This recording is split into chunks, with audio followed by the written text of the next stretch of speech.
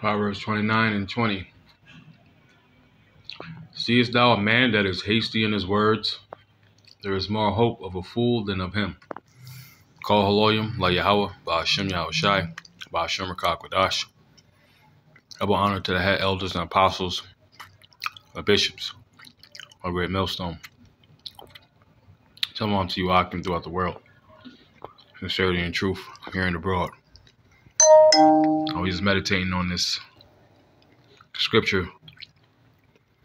Um, and um, Lord willing, it'll be edifying. You know, when you apply these scriptures, these scriptures have within them words of life, words of knowledge, understanding, and wisdom. All right. If you apply them. Okay. Now, scriptures say, Seest thou a man that is hasty in his words? So, what that tells me, don't be hasty. Just speak. Don't be hasty to say something. Okay? Dealing with this truth in the spirit, we are not to be this way. We are not to be hasty in our words, man. Okay? In all of our situations and circumstances. Now, we're not going to be perfect. And the Lord knows that. The Lord sees that. He understands our circumstances. But nonetheless,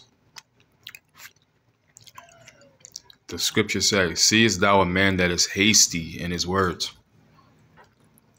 Because you can get real out of line with your mouth, man. And say things that you will end up regretting. Okay? Because of emotional and, you know, uh, preconceived preconceived uh, notions that aren't true. It's just because may, you might have had a unfortunate situation and been put in unfortunate circumstances that you never thought you would be in. All right, or end up being in. So that can cause you to speak and say things that you will retract. And you can retract and you can repent from your words. But the point of the matter is to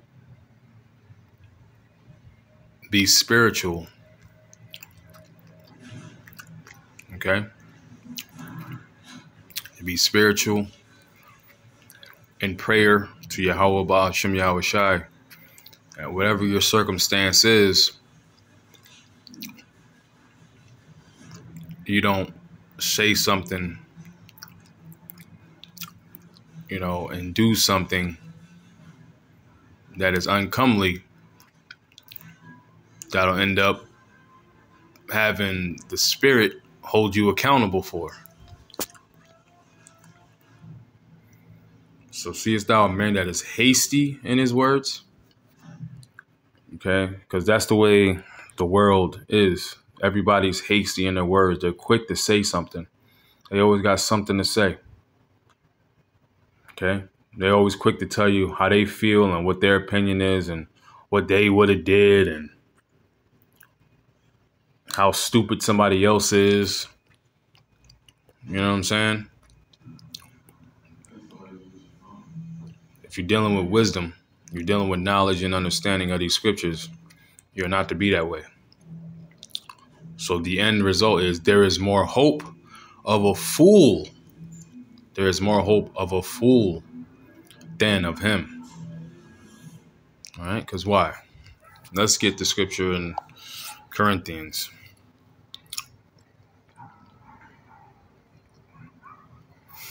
Let's get the scripture in Corinthians, man. See?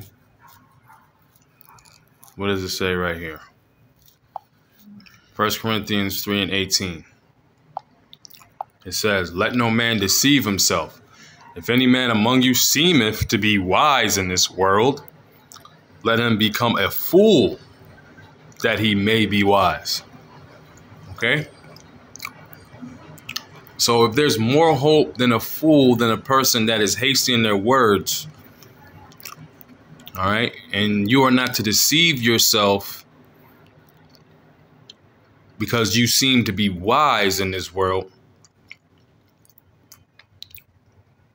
what kind of spirit ought you to be in? All right. You see? In other words, we don't know nothing that we ought to know. That's what the scriptures say. And I'm going to get that.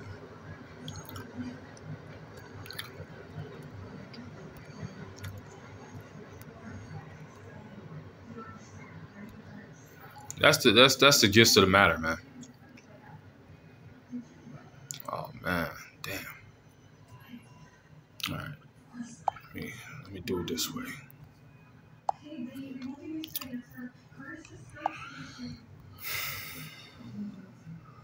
This this truth is this truth is terrifying, man. You're dealing with the Most High and His Son, and truth and sincerity, man. All you can do is hope and pray like heaven, man, that the Lord finds you meet for grace and mercy, man. Because this this is no joke, man. And, you know, whatever circumstances you find you might be going going through, and I'm speaking for myself, man.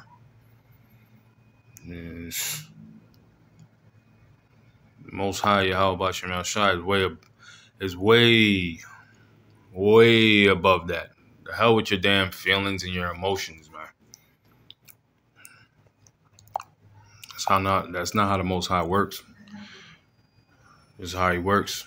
First Corinthians 8 and 2. If any man think that he knoweth anything, he knoweth nothing, yet as he ought to know. You see that? See that? If any man think that he knoweth anything, he knoweth nothing, yet as he ought to know. You understand that? I mean, come on now. All right? I mean, come on now, man. Let's go back to Proverbs. What was that? Proverbs. Damn. I don't remember what I was at in Proverbs. Shalakia. Shalaki, I'm in this goddamn flesh. So I'm flawed and full of goddamn mistakes. I pray Yahweh Shemel should have mercy on me, man. Oh, wow. Oh, man. Um, what does it say? Okay. Let's go back to Proverbs.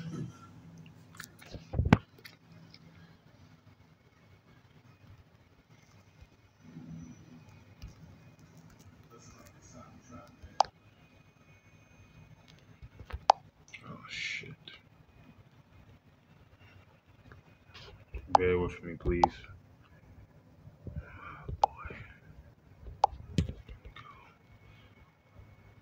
Dumb shit.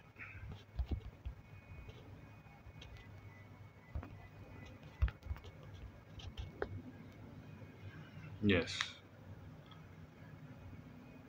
Proverbs 29 and 20. Seest thou a man that is hasty in his words?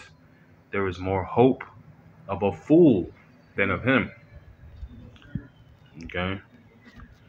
So don't be quick to always say something, man. Don't be quick. Don't be in that spirit to always got something to say, man. Because Yahweh Shem Shai will hold you accountable. All praise to Yahweh Shem Shai by Shem Shalom.